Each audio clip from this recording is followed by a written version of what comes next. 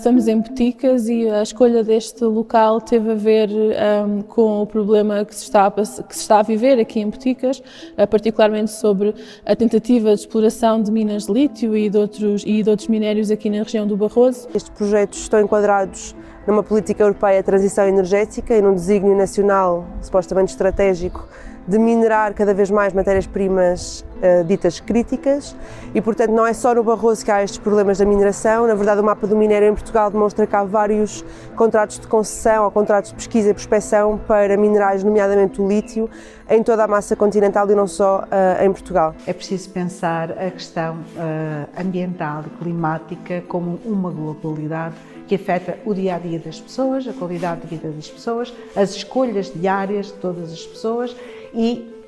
está a criar realmente graves problemas ambientais fruto de más escolhas das pessoas, de algumas pessoas. Como sabemos, a transição climática é um, provavelmente o maior desafio que temos pela frente, que vai pôr em causa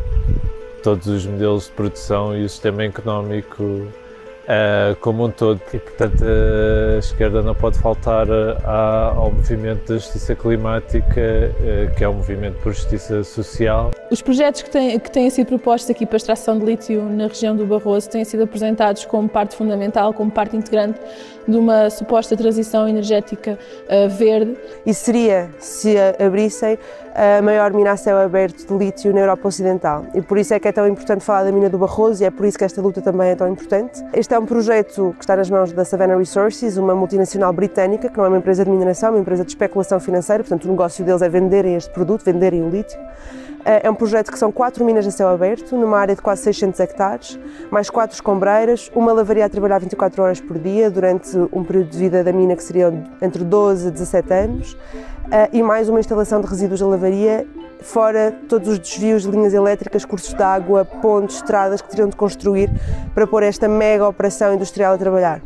Esta mega operação industrial é um contrato que está nas mãos da Savannah Resources desde 2016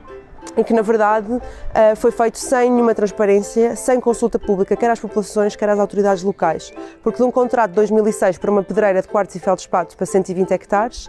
o Estado, através de uma adenda em 2016, portanto uma adenda não carece de consulta pública, alterou esse contrato e alargou-o para 548 hectares e adicionou mineral lítio. Portanto, estamos a ver como é que o Estado, sem consultar as populações e despojando-as da sua soberania local,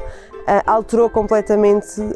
o projeto, que é um projeto que, a concretizar-se, destruiria esta região, que é património agrícola mundial. A transição energética tem que ser feita, mas isto tem que ser feito envolvendo toda a gente, tem que ser uma transição justa que não deixe ninguém para trás e, essencialmente, tem que ser uma transição que seja uh, metódica e que esgote todas as outras alternativas que existem para recuperação de materiais, para de redesign de materiais. Portanto, há todo um conjunto de alternativas que têm que ser esgotadas antes de se continuar a perpetuar o ciclo extrativista uh, que nos trouxe até aqui. E, portanto, a nós parece-nos uma narrativa altamente falsa pensar que para descarbonizarmos, para salvarmos o planeta, teremos que fazer exatamente o contrário, que é destruir florestas, destruir pessoas, destruir comunidades, destruir modos de vida que preservam uh, ecologias que preservam uh, ecologias complexas uh, e é por isso que, que lutamos e que, que, estamos aqui na região do Barroso nessa, nessa linha da frente contra o extrativismo e contra a falsa narrativa da transição energética que nem é transição,